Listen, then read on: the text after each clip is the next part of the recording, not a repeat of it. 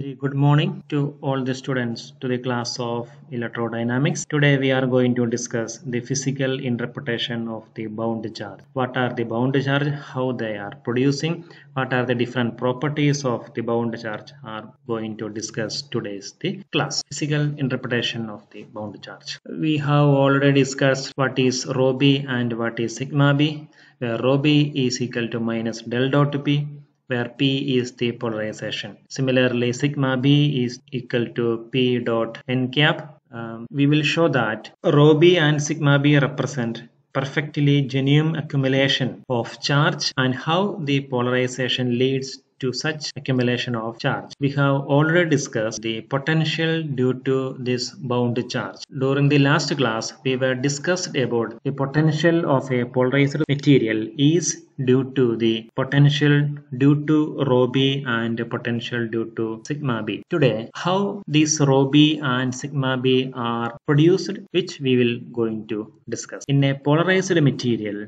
each atom or molecules is a tiny dipole and the dipole are aligned in the direction of the field. We know the uh, potential due to a polarized material uh, which is V of R is equal to 1 by 4 pi epsilon 0 closed surface sigma d ds dash divided by R1 plus 1 by 4 pi epsilon 0 volume integral rho b d v dash divide by r one ഇത് potential കണ്ടുപിടിക്കാനുള്ള equation ആണ്. നമ്മൾ കഴിഞ്ഞ ക്ലാസ്സിൽ discuss ചെയ്തതാണ്.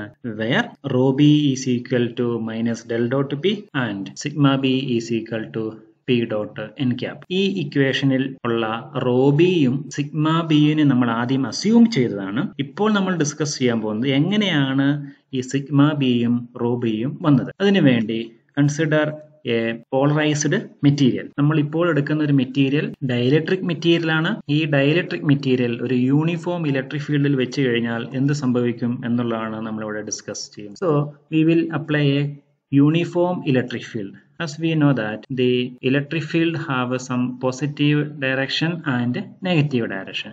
The electric field will always start from a positive and end in a negative. So what happened? The atoms inside this dielectric material will affect by the applied external electric field due to which some dipole is created as we discussed earlier. What happened? This is a one uh, positive center and a negative center. Due to this applied electric field, the negative center will slowly attracted towards the positive side and the positive center will gradually attract towards the negative side. ഓർത്തിരിക്കുക dielectric material ആയതുകൊണ്ട് free ഇലക്ട്രോൺസുകൾ ഉണ്ടാകില്ല എല്ലാ ഇലക്ട്രോൺസുകളും ആ material തന്നെ bound ചെയ്തേക്കുകയാണ്. അപ്പം അതുകൊണ്ട് ഒരു വളരെ ചെറിയ ഒരു ഡിസ്പ്ലേസ്മെന്റ് മാത്രമേ സംഭവിക്കുകയുള്ളൂ. അപ്പോൾ ഇങ്ങനെ സംഭവിക്കുമ്പോൾ ഇതൊരു ഡൈപോളിന്റെ കേസാണ് നമ്മൾ പറഞ്ഞത്. ഇതേപോലെ ഈ ഡയറക്ഷനിൽ ലാർജ് നമ്പർ ഓഫ് ഡൈപോൾസുകൾ ഉണ്ടാകും. അങ്ങനെയുള്ള എല്ലാ ഡൈപോൾസുകളും അപ്ലൈഡ് ഇലക്ട്രിക് ഫീൽഡിന്റെ ഡയറക്ഷനിൽ അലൈൻ ചെയ്തായിട്ട് നമുക്ക് കാണാൻ പറ്റും. അങ്ങനെ അലൈൻ ചെയ്തപ്പോൾ എന്ത് സംഭവിക്കും? See there is a positive centre and negative centre are closed to so what so what centre will cancel each other. So the head of one dipole is effectively cancelled by the tail of the neighboring dipole. അങ്ങനെ അടുത്തടുത്ത് വരുന്ന എല്ലാ ഡൈപോൾസുകളുടെയും ഹെഡും ടെയിലും cancel ചെയ്ത് കഴിഞ്ഞാൽ what happen അത് നമുക്ക് നോക്കാം. ഇതൊരു ഡയറക്ഷൻ ആണ്. ഇതേപോലെ ലാർജ് നമ്പർ ഓഫ് ഡൈപോൾസുകൾ ഈ മെറ്റീരിയലിന്റെ ഉള്ളിൽ ഉണ്ടാവും അങ്ങനെയുള്ള എല്ലാ ഡൈപോൾസുകളുടെയും ഹെഡും ടെയിലും ക്യാൻസൽ ചെയ്ത് കഴിഞ്ഞാൽ finally what happen there is a negative charge is resides on the one end. Similarly some positive charge resides on the other end. So finally the effective of this negative and positive charge will contribute the production of a effective dipole. So if at one end the positive charge is left over, then the other end the negative charge is left over. These charge constitute a dipole. This dipole is not produced by the movement of a single electron from the right end to the left end of the line but it is the effect of the movement of a charge number of bound electrons ഈ പിക്ചറിൽ കാണുന്നത് പോലെ ഒരു negative ചാർജും ഒരു positive ചാർജുമാണ് ഇവിടെ എഫക്റ്റീവായിട്ട് ബാക്കി ഉണ്ടാകുന്നത് ഇത് ഒരു ഇലക്ട്രോണിന്റെ മൂവ്മെന്റ് അല്ല. നമ്മൾ നേരത്തെ കണ്ട എല്ലാ ഡൈപോൾസുകളും ചെറുതായിട്ട് ഡിസ്പ്ലേസ്മെന്റ് നടത്തി അതിന്റെ ഉള്ളിലുള്ള ഹെഡും ടെയിലും ക്യാൻസലായി. ബാക്കി വന്ന രണ്ട് എൻഡുകൾ തമ്മിലാണ് ഇവിടെ ഒരു ഡൈപോൾ ക്രിയേറ്റ് ചെയ്യപ്പെടുന്നത്. അങ്ങനെ ക്രിയേറ്റ് ചെയ്യപ്പെടുന്ന ഡൈപോളും മൂലമാണ് നമുക്കിവിടെ ഒരു ഡൈപോൾ മൊമെന്റ് ഉണ്ടാകുന്നത്. നിങ്ങൾ ഓർത്തിരിക്കുക ഇങ്ങനെ ക്രിയേറ്റ് ചെയ്യപ്പെടുന്ന ഡൈപോളുകളെല്ലാം എവിടെ മാത്രമാണുള്ളത്? സർഫസിൽ മാത്രമാണുള്ളത്.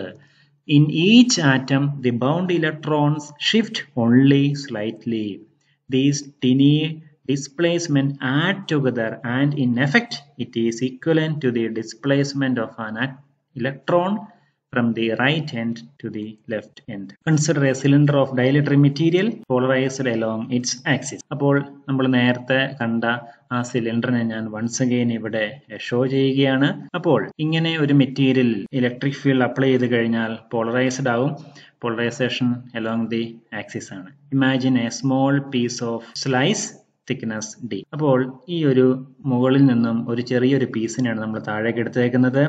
അതിന്റെ ഏരിയ എ ആണെന്നും ഈ സ്ലൈസിന്റെ distance d automatically minus q charge and plus q charge will resides on the both surface അങ്ങനെയാണെങ്കിൽ there is a dipole moment if plus q is the charge at one end and minus q at the other end of the slide so the dipole moment is equal to charge into distance that is q into d in terms of polarization dipole moment is equal to polarization into volume Polarization stands for capital P, volume is area into distance, so A into D.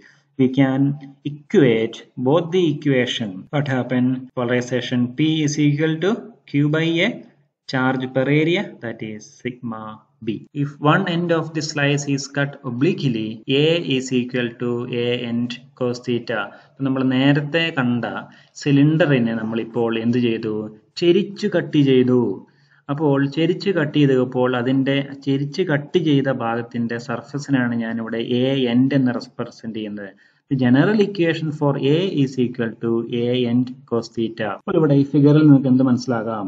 N normal ആണ്. ഇവിടെ വരച്ചേക്കുന്ന normal ആരുടെ normal ആണ്? ഈ ചെരിച്ച് cut ചെയ്ത സർഫസിന്റെ normal ആണ് n cap നേരെ ഉള്ളതാണ് p so theta is the angle between straight line and the normal if theta is equal to zero what happen the normal goes to along the line of polarization അപ്പോൾ എന്ത് വരും if theta is equal to zero cos zero is equal to one so a is equal to a end അപ്പോൾ അന്നേരമുള്ള cut എങ്ങനെ ഉണ്ടാവും ഈ left സൈഡിലെ cut പോലെ തന്നെ ആയിരിക്കും ഉണ്ടാവുക അപ്പോൾ തീറ്റ എന്ന് പറയുന്നത് the angle between P and the normal. Once again, what is a normal?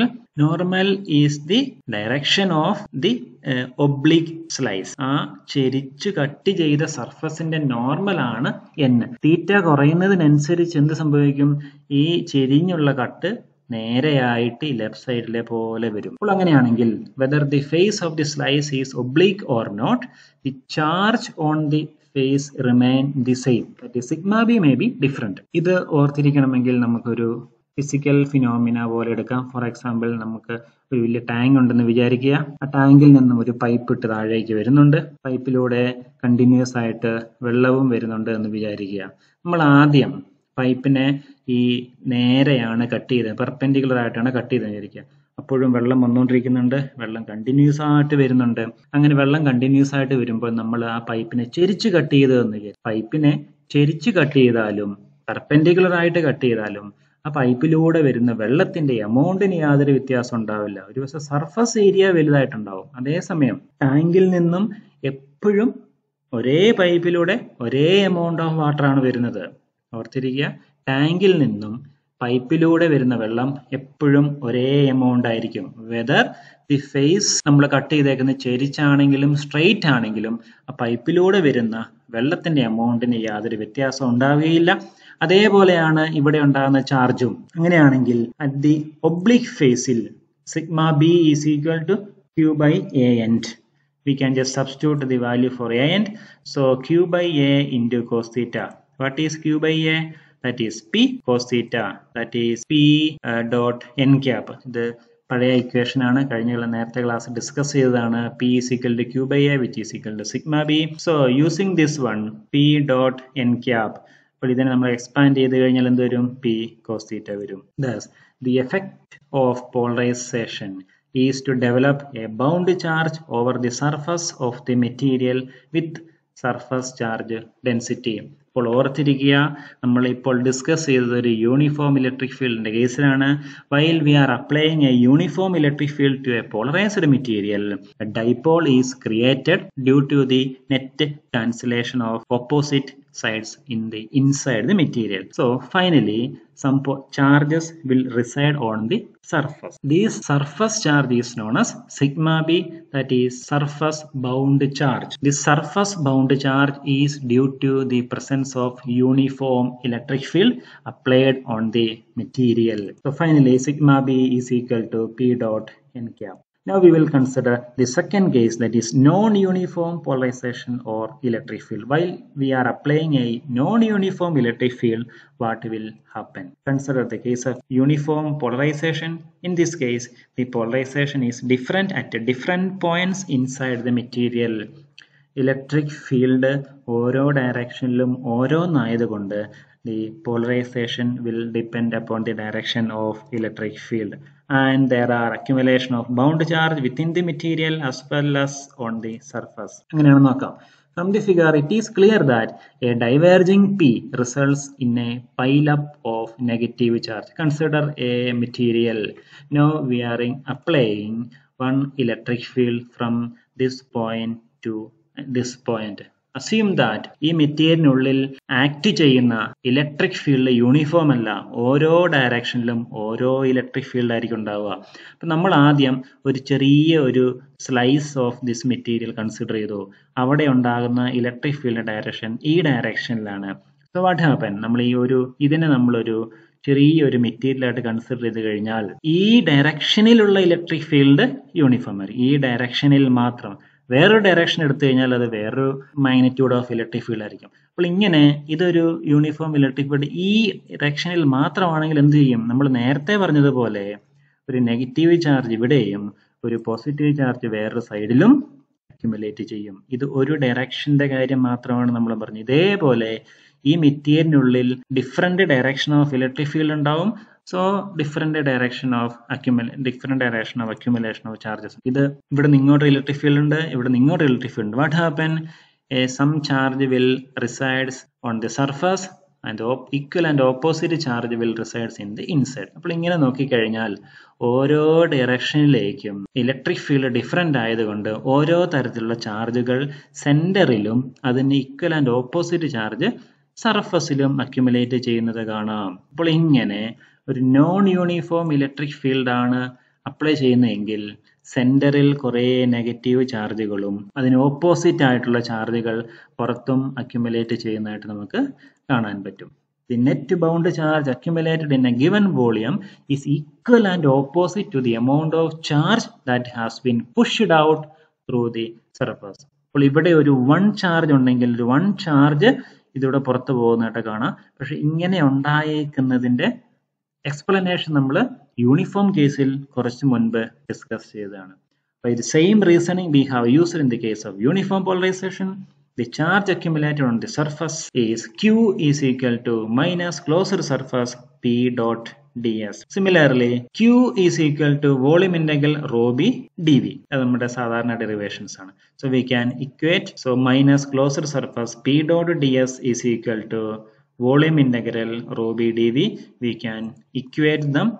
Before that we can uh, apply Gauss divergence theorem. So volume integral rho b dv is equal to minus volume integral del dot p dv we can equate this one. Rho b is equal to minus del dot p ഇങ്ങനെയാണ് നമ്മൾ ഇതാണ് rho B is equal to minus del dot P ഇങ്ങനെ we can show that For the case of non-uniform electric field, we will create by the help of electric field volume bound charge. So in final, due to uniform electric field, sigma B is producing. Similarly, for a non-uniform electric field rho b is producing.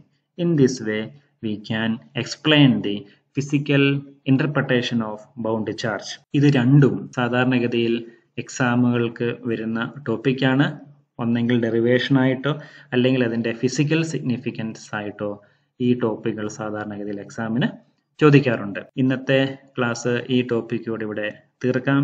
പുതിയ topic അടുത്ത ക്ലാസ്സിൽ നമുക്ക് discuss ചെയ്യാം. Thank